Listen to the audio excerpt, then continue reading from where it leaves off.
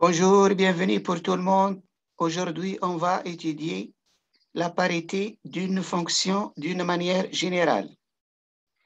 Dire la parité d'une fonction, c'est-à-dire dire est-ce que f est une fonction paire ou une fonction impaire. Et aujourd'hui, on va connaître comment savoir qu'une telle fonction est paire ou impaire. Et aussi, on va voir la représentation graphique d'une fonction paire et d'une fonction impaire. On va commencer par la fonction paire.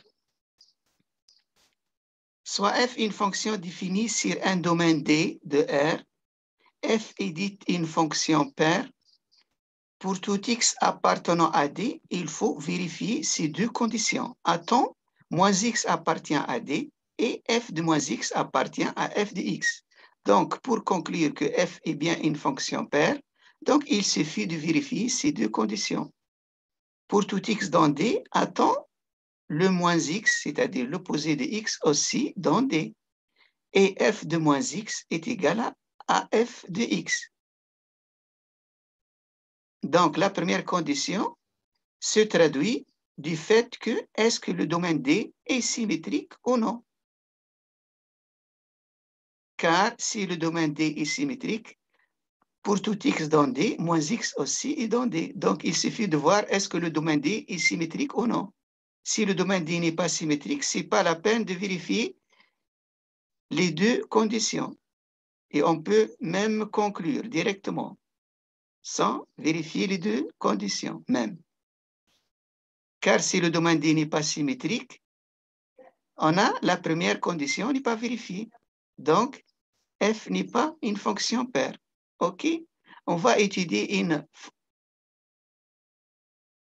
Pardon, on va étudier un exemple pour fixer les idées. Avant l'exemple, que peut-on dire sur la courbe d'une fonction paire? Relativement à un repère orthogonal, on va voir que la courbe d'une fonction paire admet l'axe des ordonnées comme axe de symétrie. OK? Passons à l'exemple maintenant pour fixer les idées. L'exemple standard f de x égale à ax au carré est bien une fonction paire vu que f est définie sur tout R ici. Et R est bien symétrique. Pour tout x appartenant à R, moins x aussi appartient à R. Donc la première condition est vérifiée. Pour tout x dans R, dans le domaine, moins x aussi est dans R dans le domaine. Maintenant, f de moins x égale à quoi? Égale à moins x le tout au carré. Moins x au carré est égal à x au carré qui est égal à f de x. Donc, f de moins x est égal à f de x. Donc, on peut conclure jusqu'à maintenant que f est bien une fonction paire. Concernant la représentation graphique, la courbe C de f est symétrique par rapport à l'axe des ordonnées. OK? Prenons l'exemple suivant. Ce point de coordonnées 1, 1 est symétrique par rapport à l'axe des ordonnées de ce point de coordonnées moins 1, 1. Ces deux points sont symétriques par rapport à l'axe des ordonnées. Aussi, ces deux points sont symétriques par rapport à l'axe des ordonnées et ainsi de suite. OK? Donc, la représentation graphique, c'est de f d'une fonction paire admet des ordonnées comme axe de symétrie. OK? Ça, c'est le cas d'une fonction paire. Passons maintenant aux fonctions impaires. Soit f une fonction définie sur un domaine D de R, f est une fonction impaire, signifie que pour tout x dans D, moins x aussi est dans D, cela se traduit par il faut que D soit un intervalle symétrique. Si D n'est pas symétrique, ce n'est pas la peine de vérifier ces deux conditions. On peut même conclure que F n'est pas impair, vu que l'intervalle n'est pas symétrique. OK? Je reviens pour dire qu'une fonction F est impair. Donc, pour tout x dans D, il faut vérifier à temps moins x aussi est dans D et on va voir est-ce que f de moins x est égal à moins f de x ou non? Si on a ces deux conditions, on peut conclure que f est bien une fonction impaire. Je répète, f est bien une fonction impaire pour tout x dans D, moins x aussi dans D, et f de moins x égale moins f de x. Concernant la représentation graphique ou la courbe d'une fonction impaire, cette courbe est symétrique par rapport à l'origine du repère O de coordonnées 0, 0. Donc, O est bien un centre de symétrie pour la courbe C de f, dans le cas d'une fonction impaire. Voyons cet exemple pour fixer les idées. On va étudier l'exemple fondamental f de x égale à x au cube. Cette fonction est bien une fonction impaire. Bien évidemment, le domaine de définition D ici est bien tout R. D ici est bien, une, est bien, est bien symétrique. Donc, pour tout x dans R, on a bien moins x appartient à R. Voyons maintenant f de moins x est égal à quoi? f de moins x égale moins x le tout au cube est égal à moins x au cube est égal à moins f de x. Donc, f de moins x est égal à moins f de x. OK? Donc, de là, on peut conclure que f est bien une fonction impaire. Concernant la représentation graphique ou la courbe de f, ce point A ayant comme coordonnée 1, 1.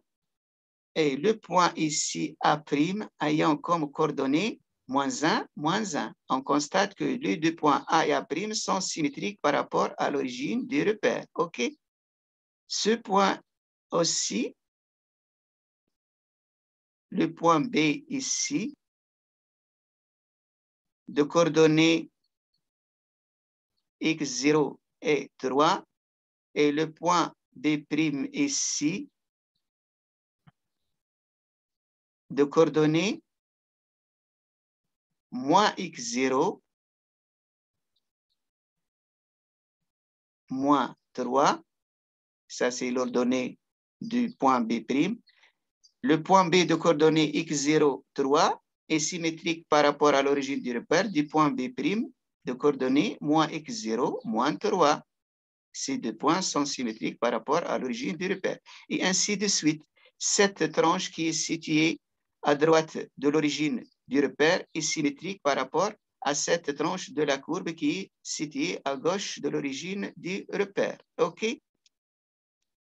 Donc, d'une manière générale, la courbe d'une fonction impaire est symétrique par rapport à l'origine du repère. OK? Donc, et comme retenons, dire que f est bien une fonction paire, il faut vérifier que pour tout x appartient à d, moins x aussi appartient à d, et f de x égale à f de moins x. Donc, ça, c'est pour la fonction paire.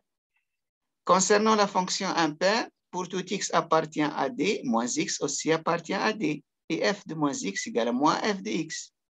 Ça, c'est pour la fonction Concernant la représentation graphique d'une fonction paire, admet l'axe des ordonnées comme axe de symétrie. Et concernant la courbe d'une fonction impaire, cette courbe admet l'origine du repère O comme centre de symétrie. OK?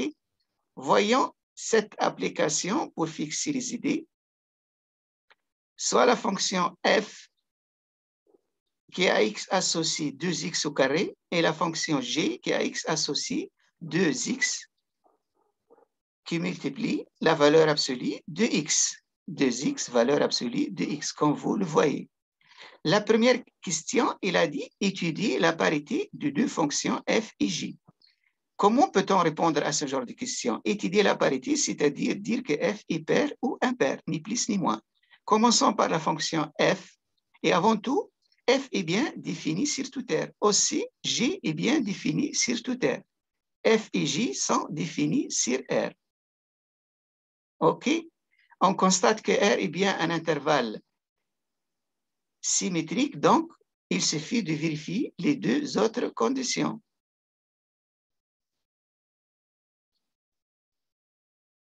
Qui sont, pour tout x appartient à D, moins x, c'est clair, et c'est gratuit maintenant, moins x aussi appartient à D, vu que D ici est égal à R qui est symétrique. Donc, pour tout x appartient à D, moins x aussi appartient à D. On va comparer maintenant f de moins x et f de x pour conclure que f est pair ou non.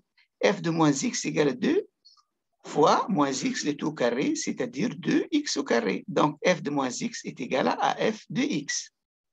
f de moins x est égal à f de x. Donc, f est bien une fonction paire. OK? Vu que le domaine est égal à R, pour tout x appartient à R, moins x aussi appartient à R, f de moins x égale à f de x, cela, de cela, on peut conclure que f est bien une fonction paire. OK? d de g est égal à R, pour tout x appartient à R, moins x aussi appartient à R, g de moins x est égal à à quoi? 2 facteurs de moins x, valeur absolue de x, valeur absolue de moins x, est égal à moins 2x, valeur absolue de x, égale à moins g de x. Donc, g de moins x égale à moins g de x. Donc, g est bien une fonction impaire. Donc, récap, la fonction f est bien une fonction paire et la fonction g est bien une fonction impaire. Concernant la représentation graphique de f, admet l'axe des ordonnées comme axe de symétrie. Concernant la représentation graphique c de g, admet l'origine de repère comme centre de symétrie. OK? L'autre question, représenter la courbe C de F dans un repère orthogonal OIJ.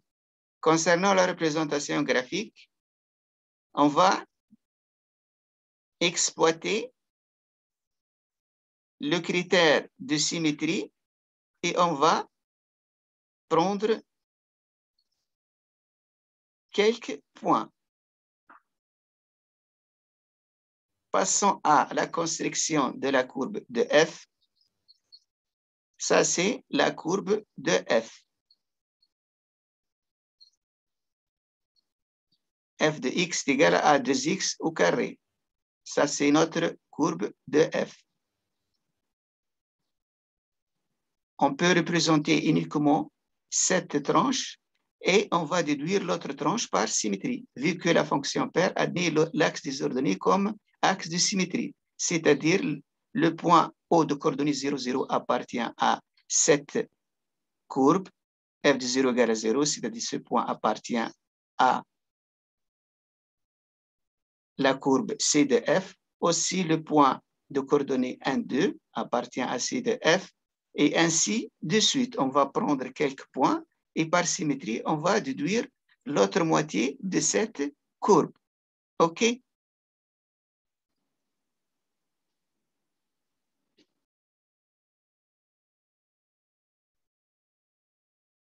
L'image de ce point est égale à 4. Pardon, l'ordonnée de ce point est égale à 4 ce point A est symétrique par rapport à l'axe des ordonnées de ce point A', vu que f est bien une fonction impaire. Donc, par symétrie, on peut déduire si ces deux points sont symétriques par rapport à l'axe des ordonnées, donc on peut déduire l'autre moitié de notre courbe par symétrie, OK? Et ainsi de suite, OK? Donc ça, c'est la représentation graphique de la courbe C de f qui a f de x égale à 2x au carré. OK? Comment peut-on maintenant construire la courbe C de G? G de x égale à 2x, valeur absolue de x. OK?